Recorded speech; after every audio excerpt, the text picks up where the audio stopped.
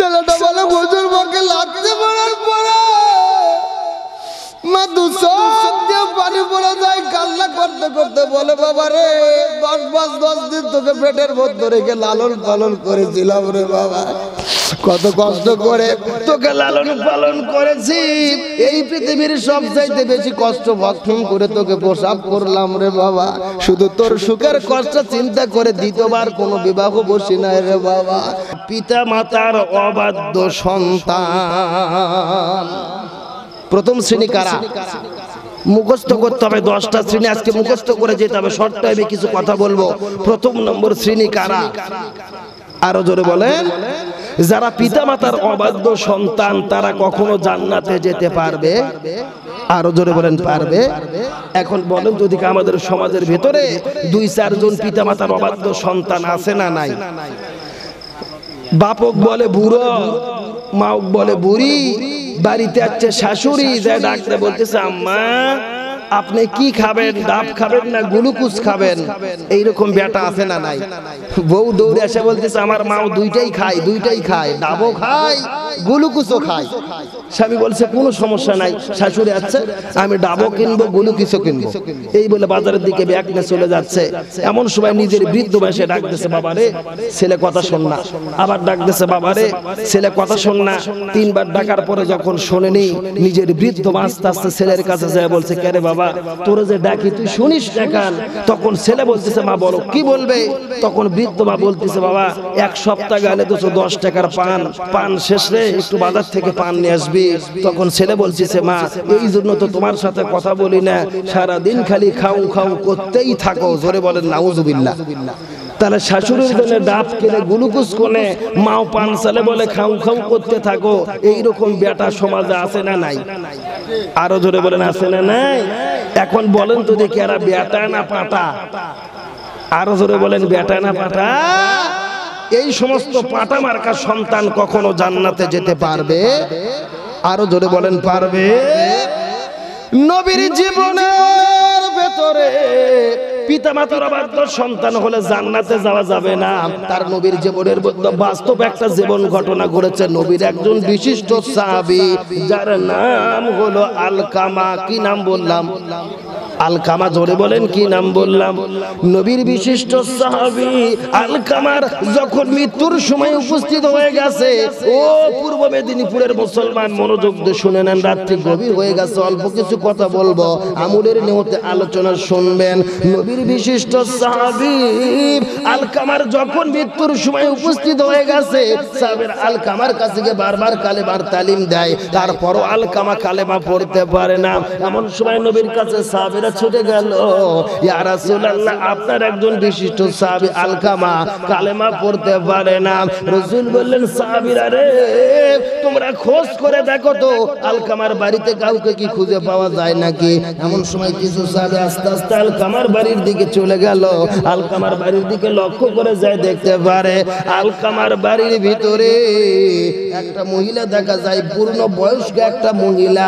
এই মহিলাকে জিজ্ঞেস করা হলো, মা, আলকামা, আপনার কে হয়? এমন সময় বৃদ্ধ মহিলা বলে, ও নবীর সাবিরা রে, আলকামা আমার সন্তান হয়। সোমান আল্লাহ বলে এমন সময় সাহাবেরা জিজ্ঞেস করলেন ও বৃদ্ধ মা, আপনার সন্তান আলকামার মৃত্যুর সময় উপস্থিত হয়েছে। আপনি তাকে মাফ করে দেন, সে কালেমা পড়তে পারে না। এমন সময় মা বলে ও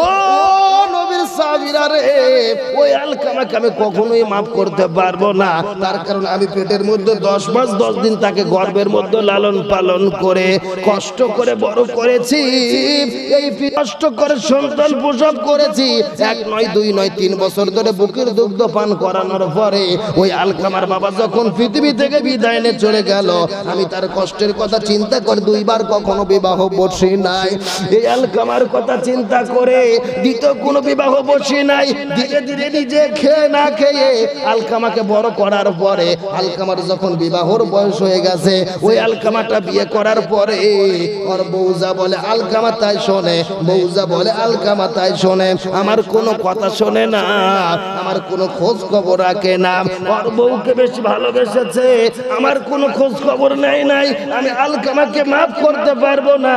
এমন সময় সাবির রসুলের কাছে চলে গেল ইয়া রাসূলুল্লাহ। আলকামার বৃদ্ধ মাতাকে কখনোই মাফ করবে না। এমন সময় রসুল বললেন সাবিরা রে, আলকামার, মা যদি আলকামাকে মাফ না করে, আলকামা কখনোই কালেমা পড়তে পারবে না।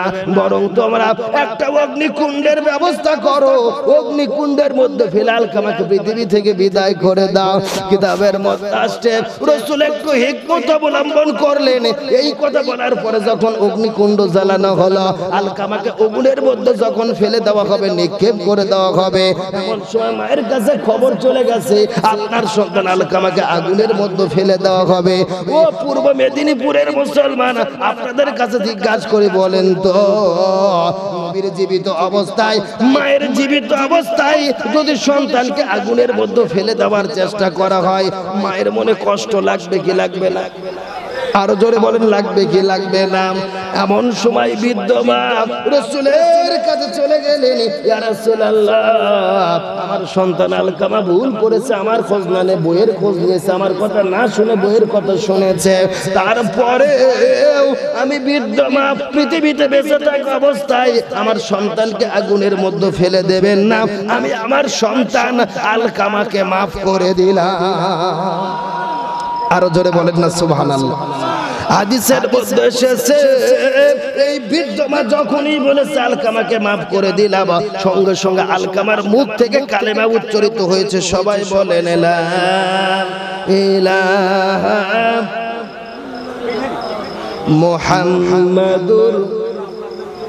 সকলে পড়েন সাল্লাল্লাহু এখন আপনাদের কাছে জিজ্ঞাসা করে বলেন তো, নবীর একজন বিশিষ্ট সাহাবি, নবীর সঙ্গে নামাজ পড়েছে, নবীর সঙ্গে হজ করেছে, নবীর সঙ্গে জাকাত দিয়েছে।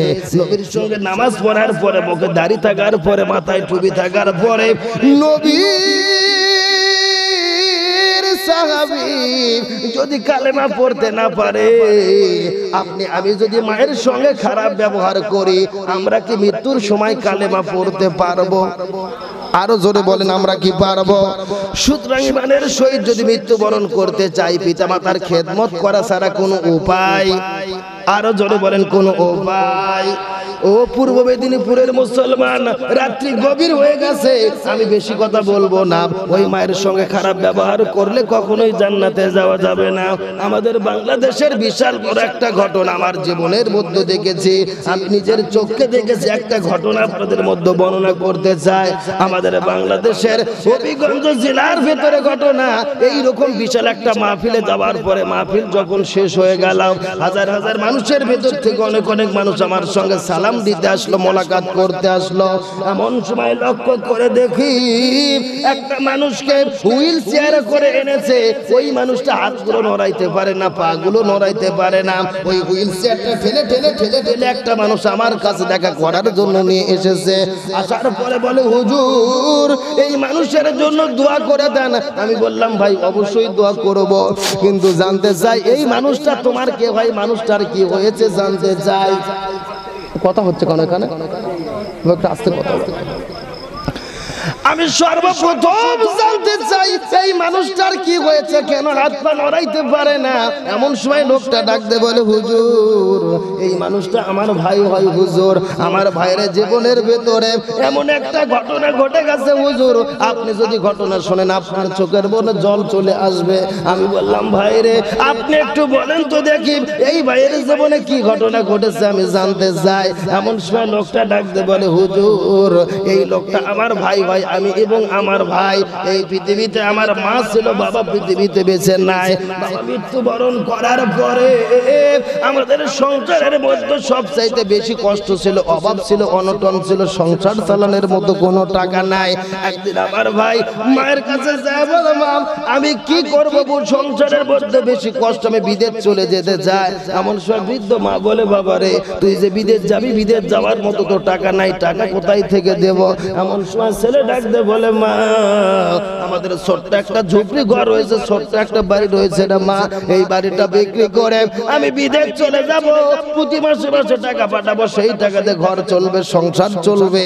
এই কথা বলার পরে ওই জায়গাটা বিক্রি করে দিয়ে টাকাটা ভাই যখন বিদেশ চলে গেল, হুজুর, ছেলেটা বলে, হুজুর, আমার ভাইটা বিদেশ যাওয়ার পরে প্রতি মাসে কিছু কিছু টাকা পাঠায়। ওই টাকা দিয়ে ঘর করে, সংসার করে অল্প কিছু জায়গা কিনেছি, হুজুর। ওই জায়গার পরে আমরা ছোট্ট একটা ঘর করে পরিবার সংসার ভালোই চলে যাচ্ছিল।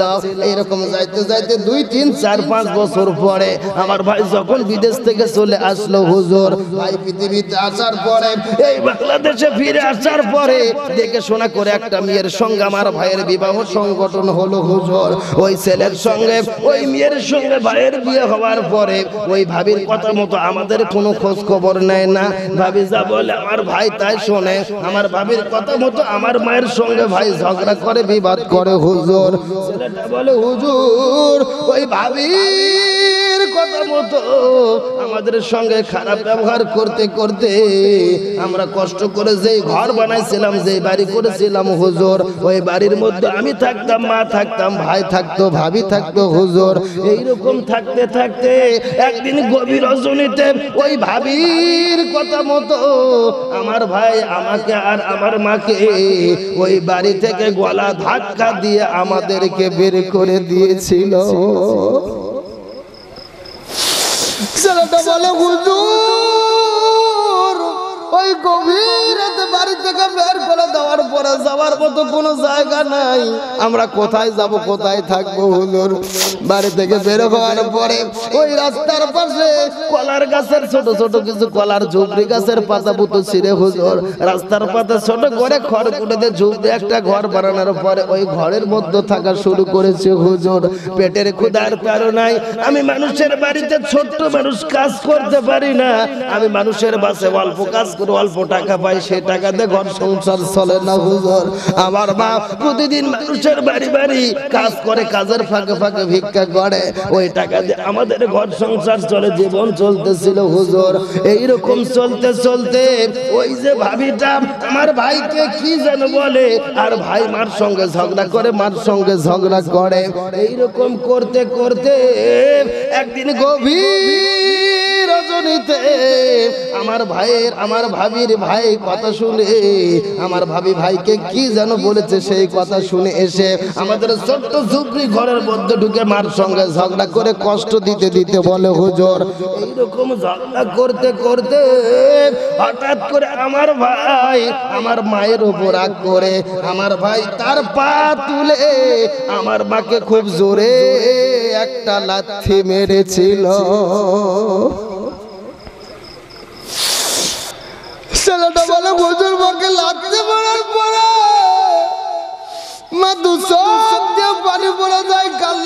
করতে বলে বাবা রে দশ পাঁচ দশ দিন তোকে পেটের মধ্যে রেখে লালন পালন করেছিলাম রে বাবা।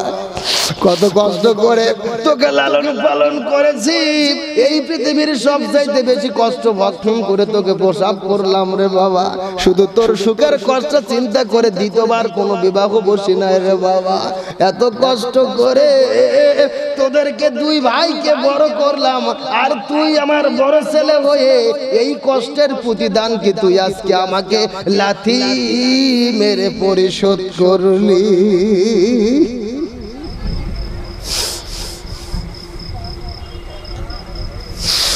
ছেলেটা বলে হুজুর সেই ঘটনা যেদিন ঘটে গেল। মা পরের দিন থেকে কথা বলতে পারে না। সব সময় দু চোখ তোমার দর দর করে পানি পড়ে হুজুর। এইরকম পড়তে পড়তে দুই তিন দিন যখন চলে গেল সপ্তাহ খানিক চলে যাওয়ার পরে আমার মা পৃথিবী থেকে বিদায় নিয়ে চলে যায়। ছেলেটা বলে হুজুর, মা পৃথিবী থেকে বিদায় নেওয়ার পরে এই ঘটনা আমি জানতাম, আমার ভাই জানতো, মা জানতো, আর কেউ জানতো না। ভাইয়ের বারবার মনে করে মাকে কষ্ট দিয়েছি, মাকে লাথি মেরেছি। সেই কষ্ট পাওয়ার পরে মা পৃথিবী থেকে বিধান চলে গেল। এরকম যাইতে যাইতে মা ভাই আমার মায়ের মৃত্যুর শোক সহ্য করতে না পেরে ভাই সব সময় কান্না করে, সব সময় কান্না করে। এইরকম কান্না করতে করতে দুই, তিন দিন পরে আমার ভাই ঘরের মধ্যে শোয়ার পরে রাত সকাল নয়টা, দশটা বেজে গেছে, ঘর থেকে বের হয় না, বাড়ি থেকে বের হয় না। ঘরের দরজা, জানলা ভেঙে ঘরের মধ্যে ঢোকার পরে লক্ষ্য করে দেখি আমার ভাইটা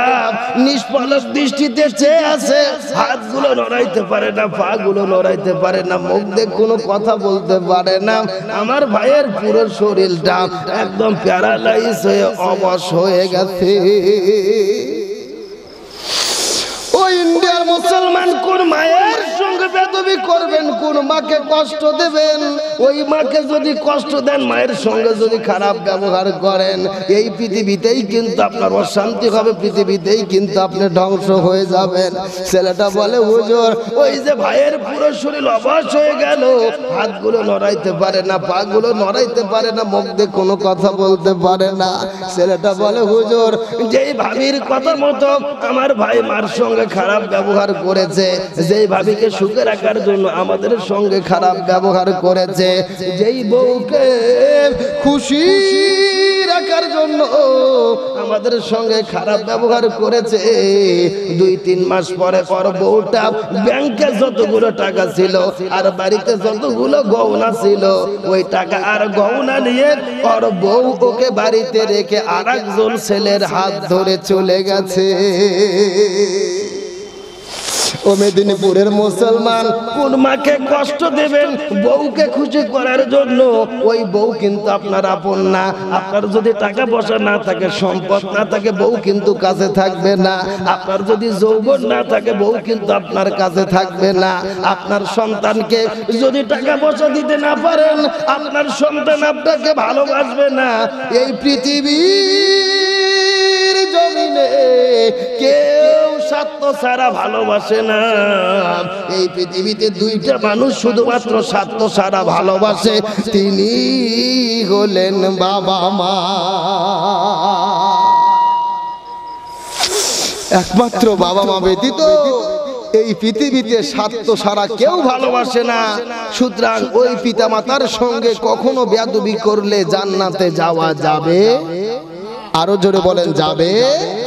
আর ওই মাও যদি দোয়া করে, তাহলে আল্লাহ তালা তাকে জান্নাতের মেহমান হিসেবে কবুল করবে, জোরে বলেন সোহান আল্লাহ ও সম্মানিত ভাইরা, ওই মা এত কষ্ট করেছে, এত কষ্ট করেছে, ওই মায়ের ঋণ কখনো পরিশোধ করা যাবে?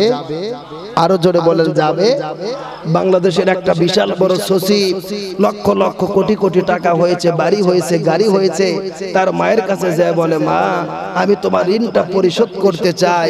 বৃদ্ধ মা বলে বাবা রে আমার ঋণ তুই কীভাবে পরিশোধ করবি? তখন এই সচিবটা বলেছিল পত্রিকার মধ্যে এসেছে মা আমাকে কোটি কোটি টাকা আল্লাহ তালা দিয়েছে গাড়ি দিয়েছে বাড়ি দিয়েছে তুমি যা চাবে আমি তাই দিয়ে তোমার ঋণটা পরিশোধ করতে চাই তুমি কি চাও আমাকে বলো, তখন বৃদ্ধ বা বলেছিল, বাবা, তেমন কিছু চাই না রে। তুই বাজার থেকে একটা কলা নিয়ে আসবি। আমি তাহাজ্জুদের নামাজ পড়ে ওই কলাটা খেয়ে তোর জন্য দোয়া করে দেবো। জোরে বলেন, সুবহানাল্লাহ। আরও জোরে বলেন না, সুবহানাল্লাহ। এমন সময় সচিব বলে, মা, আল্লাহ তালা আমাকে কোটি কোটি টাকা দিয়েছে, বাড়ি দিয়েছে, গাড়ি দিয়েছে। মা, তুমি এত কিছু বাদ দে, কেন শুধু কলা চাও জানতে চাই? এমন সব বৃদ্ধ মা বলে, বাবারে, তোর কাছে তেমন কিছু চাই না। কলাটা নিয়ে এসে দিবি, ওই কলা খেয়ে তোর জন্য দোয়া করে দিব। এই কথা বলার পরে সচিব কোনোদিন বাজারে যায় না। অন্যান্য মানুষকে দিয়ে বাজার করে নেয়। কিন্তু সচিবটা মায়ের পরিশোধ করার জন্য ওই দিন বাড়ি থেকে বের হয়ে বাজার থেকে একটা সুন্দর দেখে কলা আনার পরে মার কাছে বলে, মা, কলাটা খাইয়ে তুমি আমার জন্য দোয়া করে দেবে। এমন সময় বৃদ্ধ মা বলে, ছেলে রে, এই কলাটা তোর কাছ থেকে এখন নেব না। ওই কলাটা তোর কাছে রেখে দে রে বাবা। আমি যখন রাত্রি বেলা তাহাজ্জুদের নামাজ পড়ব, তখন তোর কাছে কলা চাবো, তুই কলাটা দিলে তোর কাছে দোয়া করে দেব। এই কথাটি বলার পরে ওই সচিব কলাটা নিয়ে যখন বিছানার উপরে শুয়ে গেছে, রাত্রি যখন দুটো তিনটা হয়ে গেল এমন সময় মার যখন ঘুম ভেঙে গেল, ঘুম থেকে ওঠার পরে সুন্দর করে করে, পবিত্র অর্জন করে, এমন সময় ছেলের দরজায় গিয়ে বলে, বাবা রে, তুই কলাটাতে তোর জন্য দুই তাহাজ্জুদের নামাজ দোয়া করে দেব। এমন সময় সচিব ঘুম থেকে উঠে বলে, মা, আমি আজকের মতো তোমাকে কলা দিতে পারব না। আগামীকালকে আবার তোমার জন্য সুন্দর দেখে কলা নিয়ে আসব। এমন সময় বৃদ্ধমা বলে, বাবা রে, তুই আজকে এই কলা দে তোর জন্য কলা খেয়ে দোয়া করব, তুই আজকে এই কলাটা দে। এমন সময় সচিব বলে, না, মা, আজকের মতো কলা দিতে পারব না। এমন সময় মা বলে, ছেলে রে, তুই কেন কলা দিতে পারবি না? এই ঘটনাটা খুলে বল। এমন সময় সচিব বা বলে, সচিব বলে, মা, তুমি মনোযোগ দিয়ে শুনে নাও। ওই কলাটা বিছানার ওপর রেখে যখন রাত্রিবেলা ঘুমাইতে গেছে, রাত্রিবেলা ঘুম পারতে পারতে আমার পিঠের নিচে কলাটা পরে ওই খাটের সঙ্গে মিশে গেছে। ওই বিছানার সঙ্গে মিশে গেছে রে মা। ওই কলাটা নষ্ট হয়েছে, আজকে তুমি কলাটা খাইতে পারবা না। আগামী কালকে তোমাকে বাজার থেকে কলা এনে দেব, তখন তুমি কলা খাইয়া দোয়া করবা। এমন সময় মা বলে, ছেলে রে, তুই মনো বাবা, আমার তোর কখনোই পরিশোধ করতে হবে না। কিন্তু তোর কাছে আমি কিছু কথা বলতে চাই রে বাবা।